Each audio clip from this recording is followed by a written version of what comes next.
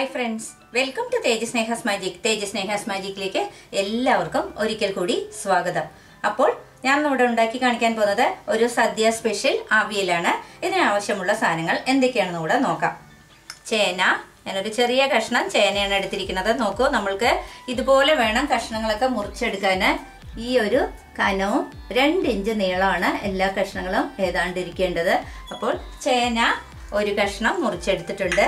കുമ്പളങ്ങ അതുപോലെ ചെറിയൊരു കഷ്ണം അതേപോലെ രണ്ട് ഇഞ്ച് നീളത്തിലൊക്കെ മുറിച്ച് വെച്ചിരിക്കുന്നത് ഒരു ചെറിയ മുരിങ്ങക്കായ അതുപോലെ പയറ് രണ്ടെണ്ണം ഒരു ചെറിയ കഷ്ണം ക്യാരറ്റ് പിന്നെ ബീൻസ് രണ്ടെണ്ണം കൊത്തവര ഒരു നാല് കൊത്തവരയാണ് എടുത്തിരിക്കുന്നത് അതുപോലെ അവരയ്ക്ക ഒരു മൂന്ന് അവരയ്ക്ക പിന്നെ നമ്മുടെ പടവലങ്ങയാണ് പടവലങ്ങ ഒരു ചെറിയൊരു കഷ്ണമാണ് എടുത്തിരിക്കുന്നത്. അതുപോലെ നമ്മളെല്ലാം അതുപോലെ വേണം മുറിക്കാൻ പടവലിങ്ങ പിന്നെ വാഴയ്ക്ക. ഇവിടെ നമ്മളത് നേന്ത്രക്കായ കിട്ടിയിട്ടില്ല അതുകൊണ്ട് ഞാനിവിടെ വാഴയ്ക്കാണ് ഇടുന്നത്. നിങ്ങൾ ഈ ഒരു സ്ഥലത്ത് നിങ്ങൾ നേന്ത്രക്കായ ഇടാം. പിന്നെ വാഴയ്ക്ക മുറിക്കുന്ന സമയമാണെങ്കിൽ നമ്മൾ ഉണ്ടാക്കുന്ന നേരത്ത് വേണം മുറിക്കാൻ അല്ലെങ്കിൽ നേരത്തെ മുറിച്ച് വെച്ചാൽ കറുക്കും. അതുപോലെ മുറിച്ചത് നമ്മൾ വെള്ളത്തിൽ ഇട്ട് വയ്ക്കുക ഇതിപ്പം മുറിച്ചിട്ടേ ഉള്ളൂ. പിന്നെ മാങ്ങ. ഇതിന് നമ്മൾ തൈര് ഒഴിച്ചല്ല വെക്കുന്നത്. മാങ്ങയിട്ടാണ് ഈ അവിയൽ ഉണ്ടാക്കുന്നത്. ഞാൻ നിങ്ങൾക്ക് ആദ്യമേ ഒരു അവിയൽ പാലക്കാടൻ അവിയൽ കാണിച്ചിട്ടുണ്ടായിരുന്നു. വെള്ള കളർ അവിയലാണ്. അതിൽ നമ്മൾ തൈരാണ് ചേർക്കുന്നത്. ഇതിൽ തൈരിന് പകരം നമ്മൾ മാങ്ങയാണ് ചേർക്കുന്നത്. ഇത്രയേ ഉള്ളൂ വ്യത്യാസം. മാങ്ങയും ചേർക്കും. പിന്നെ നമ്മൾ മഞ്ഞൾപ്പൊടിയും ചേർക്കും. ഇത്രയേ ഉള്ളൂ ഒരു വ്യത്യാസം. പിന്നെ നാളികേരം. നല്ലൊരു ഇടത്തരത്തിനേക്കാളും വലിയ ഒരു നാളികേരത്തിന്റെ പകുതിയാണ് ഞാനിവിടെ ചിരകി എടുത്തിരിക്കുന്നത്. പച്ചമുളക് അഞ്ച് പച്ചമുളക് നിങ്ങൾ പച്ചമുളക് എരിവിനനുസരിച്ച് കൂട്ട് കുറയ്ക്കുകയൊക്കെ ചെയ്യാം. പിന്നെ ആവശ്യത്തിനുള്ള കരിവേപ്പില ഉപ്പ് ആവശ്യത്തിന് മഞ്ഞൾപ്പൊടി ആവശ്യത്തിന് കുരുമുളക് പൊടി ആവശ്യത്തിന് ജീരകം ആവശ്യത്തിന് പിന്നെ നമുക്ക് അവസാനമായി ഒഴിക്കാനായി വെളിച്ചെണ്ണ. ഇത്രയൊക്കെയാണ് ആവശ്യമുള്ള സാധനങ്ങൾ. ഇതിന് നമ്മൾ ഉണ്ടാക്കാൻ തുടങ്ങാം. നമ്മൾ അടുപ്പ് കത്തിച്ച് അതുപോലെ ഒരു പാത്രം അടുപ്പത്ത് വെച്ച് കൊടുത്തിട്ടുണ്ട്. നമുക്ക് ആദ്യം ചെയ്യേണ്ടത് നമ്മൾ ചേന ഒന്ന് എല്ലാ പച്ചക്കറികളും കഴുകിയാണ് നിങ്ങൾക്ക് കാണിച്ചിരിക്കുന്നത്. അപ്പോൾ നമ്മൾ ചേന ഒന്ന് ആദ്യം ഇട്ട് ഒന്ന് തിളച്ച വെള്ളം ഒന്ന് കളയാം. ഞാൻ നിങ്ങളോട് എപ്പോഴും പറഞ്ഞിട്ടുണ്ട് ചേനയുടെ വെള്ളം ഉണ്ടെങ്കിൽ നമ്മുടെ അവിയലൊക്കെ ഉണ്ടാക്കുന്ന സമയത്ത് ചേന ഒന്ന് അല്ല അവിയലൊന്ന് കറുക്കും. അതുകൊണ്ടാണ് പറയുന്നത് ആദ്യം ഒന്ന് തിളച്ചത് അതിന്റെ വെള്ളം ഒന്ന് നമ്മൾ ഊറ്റിക്കളയാം മാത്രമല്ല പിന്നെ ചില സമയത്ത് ചൊറിച്ചലും ഉണ്ടാവും നമുക്ക് കഴിക്കുന്ന സമയത്ത്. അതിന് ഇതുപോലെയാണ് നമ്മൾ ചെയ്യേണ്ടത്. അപ്പോൾ നമ്മൾ ഇതൊന്ന് തിളയ്ക്കുന്നത് വരെ കാത്തിരിക്കാം. നോക്കൂ നമ്മുടെ ചേനയൊക്കെ ഒന്ന് തിളച്ച് വന്നിട്ടുണ്ട്. ഈ സമയത്ത് നമുക്ക് അടുപ്പൊന്ന് ഓഫ് ചെയ്തതിന് ശേഷം ഇതൊന്ന് നമ്മൾ ഊറ്റിക്കളയാം. നോക്കൂ നമ്മുടെ ചേനയുടെ വെള്ളമൊക്കെ ഒന്ന് ഊറ്റിക്കളഞ്ഞിട്ടുണ്ട്. നമുക്ക് ഈ സമയത്ത് ഇതൊന്ന് പാത്രത്തിലേക്ക് ഇട്ട് കൊടുക്കാം. ഇനി നമ്മൾ ചെയ്യേണ്ടത് മുരിങ്ങക്കായാണ് ആദ്യം ഇടേണ്ടത്. മുരിങ്ങക്കായും ചേനയും കുറച്ചൊന്ന് വേകുന്ന സമയത്ത് നമുക്ക് ബാക്കിയുള്ള പച്ചക്കറികളൊക്കെ ഒന്ന് ചേർക്കാം. അതൊക്കെ പെട്ടെന്ന് വെന്തോളും. നമുക്ക് ആവശ്യത്തിനുള്ള വെള്ളം ഒഴിച്ചു കൊടുക്കാം. ഒരു കാൽ ഭാഗം വെന്തോട്ടെ. അതിന് ശേഷം വേണം നമ്മൾ അല്ലെങ്കിൽ മുരിങ്ങക്കായൊന്നും വേവില്ല ചില സീസണിൽ ചേനയും വേവില്ല. അപ്പം നിങ്ങൾ ഇങ്ങനെ വേണം ചെയ്യാൻ. എല്ലാ കഷ്ണങ്ങളും ഒരുമിച്ച് ഒരിക്കലും ഇട്ട് കൊടുക്കരുത്. അപ്പം നമ്മൾ ഇതൊന്ന് വേകുന്നതിനിടയ്ക്ക് നമ്മുടെ അരപ്പൊന്ന് റെഡിയാക്കാം. അപ്പോൾ നമ്മൾ ഇതുപോലെ ഒരു ജാർ എടുത്തിട്ടുണ്ട്. നമ്മൾ ഈ പച്ചമുളകൊക്കെ ഒന്ന് ഇതുപോലെ രണ്ടായി കീറിയിട്ട് കൊടുക്കാം.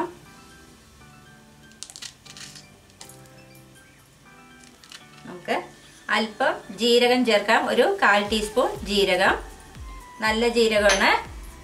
പിന്നെ അതുപോലെ തന്നെ നമ്മൾ ഒരു ചെറിയ തണ്ട് കരിവേപ്പില. നല്ലൊരു മണത്തിനാണ് പിന്നെ നമ്മൾ എടുത്തു വെച്ചിരിക്കുന്ന നാളികേരം ചേർക്കാം.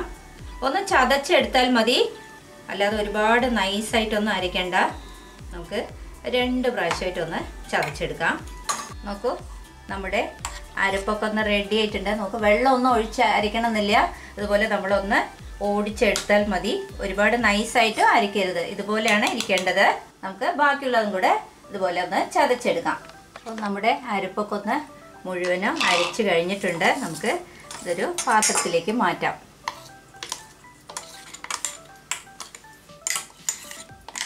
അപ്പോൾ നമ്മുടെ ചേനയും മുരിങ്ങക്കായൊക്കെ ഒന്ന് അടുപ്പത്ത് വെച്ച് ഏതാണ്ട് ഒരു അഞ്ച് മിനിറ്റോളം ആയിട്ടുണ്ട്. ഈ സമയത്ത് നമുക്ക് ബാക്കിയുള്ള കഷ്ണങ്ങൾ ഓരോന്നായും ഇട്ട് കൊടുക്കാം. കുമ്പളങ്ങ ഇടാം. പടുവല്ലങ്ങ അവരയ്ക്ക അതുപോലെ കൊത്തവര ബീൻസ് ക്യാരറ്റ് പയറ് പിന്നെ നമ്മുടെ വാഴയ്ക്ക. ഇതെല്ലാം ഇട്ട് കൊടുത്തതിന് ശേഷം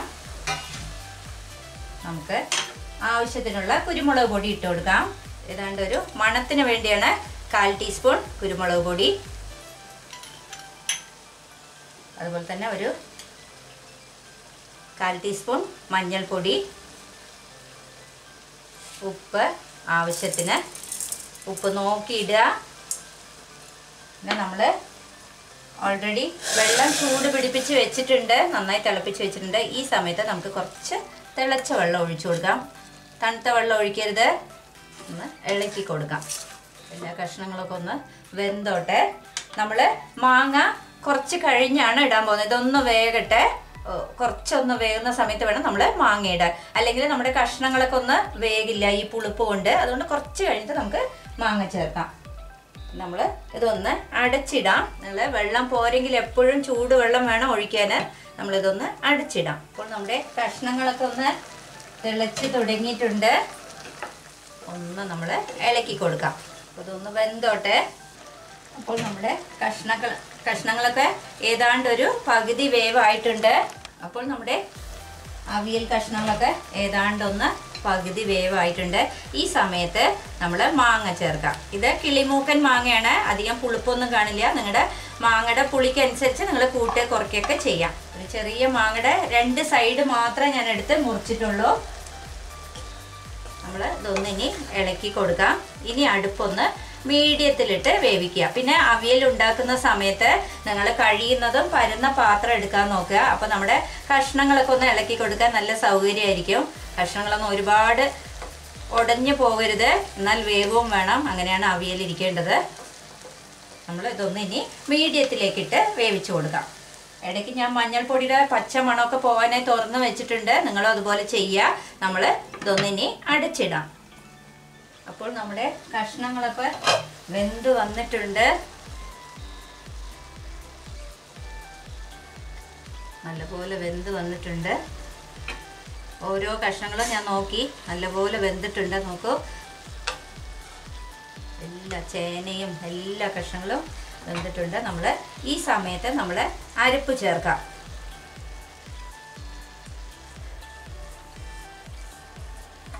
ഒപ്പം തന്നെ നമ്മുടെ മിക്സി ജാറൊന്ന് കഴുകിയ വെള്ളവും കൂടെ നമ്മൾ ഒഴിക്കാം.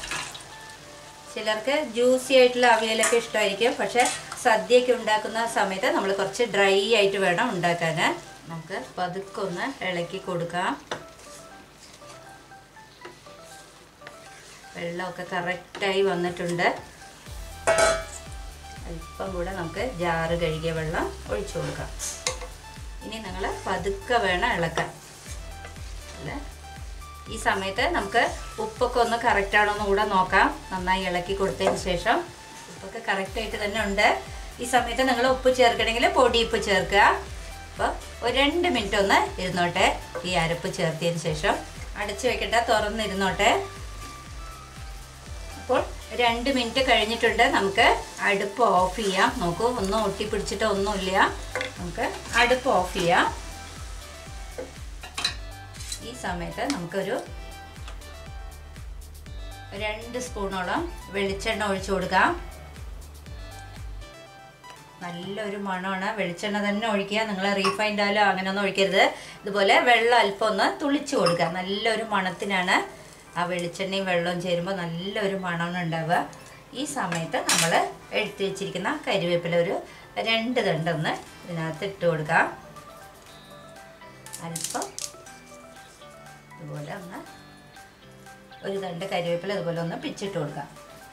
ഒന്ന് അടച്ചിടുക. ഒരു മിനിറ്റ് ഒന്ന് ഇരുന്നോട്ടെ. നല്ലൊരു മണം വരട്ടെ. നമ്മുടെ അവിയൽ എങ്ങനെയുണ്ടെന്ന് നോക്കാം. ഏതാണ്ട് ഒരു മിനിറ്റ് കഴിഞ്ഞു. നല്ലൊരു മണമാണ്. ഒന്ന് ഇതുപോലെ ഇളക്കി കൊടുക്കാം. നോക്കൂ. കഷ്ണങ്ങളൊന്നും ഉടഞ്ഞിട്ടോ ഒന്നുമില്ല എന്നാൽ വെന്തിട്ടുമുണ്ട്. അതുപോലെയാണ് നമ്മുടെ അവിയൽ ഇരിക്കേണ്ടത്. അപ്പം നമുക്ക് ഇതൊന്ന് ഇനി സെർവ് ചെയ്യാം. നമ്മുടെ അവിയലൊക്കെ ഒന്ന് റെഡി ആയിട്ടുണ്ട്. നമുക്കിതൊന്ന് സെർവ് ചെയ്യാം. അപ്പോൾ നമ്മുടെ സ്വാദിഷ്ടമായ അവിയൽ നോക്ക്. നല്ലൊരു മണമാണ്. നമ്മുടെ പാലക്കാടും തൃശ്ശൂരും ഒക്കെ കടന്നു കഴിഞ്ഞാൽ കേരളത്തിലെ മറ്റ് ജില്ലകളിലൊക്കെ ഉണ്ടാക്കുന്ന അവിയലാണ്. മാങ്ങയിട്ട അവിയലാണ് ഉണ്ടാക്കുക. പ്രത്യേകം പറയണേ കോട്ടയം ട്രിവാൻഡ്രം സൈഡൊക്കെ ഇതുപോലുള്ള അവിയലാണ് നിങ്ങൾക്ക് കിട്ടുക. നല്ല സ്വാദാണ് ഈ അവിയൽ നല്ല സ്വാദാണ്. ചിലർ ഇതിൽ കൈപ്പയ്ക്കയും ചേർക്കാറുണ്ട്. ഞാനിവിടെ കൈപ്പയ്ക്കൊന്നും ചേർത്തിട്ടില്ല. വഴുതിരിങ്ങ കൈപ്പയ്ക്ക അതുപോലെ കോവയ്ക്ക അതൊക്കെ ചേർത്ത് അവർ അവിയൽ ഉണ്ടാക്കാറുണ്ട്. അതുപോലെ മാങ്ങ ഇട്ടാണ് അവർ അവിയൽ ഉണ്ടാക്കുക. അപ്പോൾ വളരെ സ്വാദിഷ്ടമായ നമ്മുടെ അവിയലൊക്കെ ഒന്ന് റെഡി ആയി കഴിഞ്ഞു. ഇതാണ് നമ്മുടെ മാങ്ങയിട്ട അവിയൽ നല്ല സ്വാദാണ് ഈ അവിയലിന്. അപ്പോൾ നമ്മുടെ വിഷുവൊക്കെ ഒന്ന് അടുത്ത് തുടങ്ങിയിട്ടുണ്ട്. നിങ്ങൾ ഈ വിഷു ദിനത്തിൽ ഇതുപോലെ ഒരു അവിയലൊക്കെ ഒന്ന് ഉണ്ടാക്കി നോക്കി.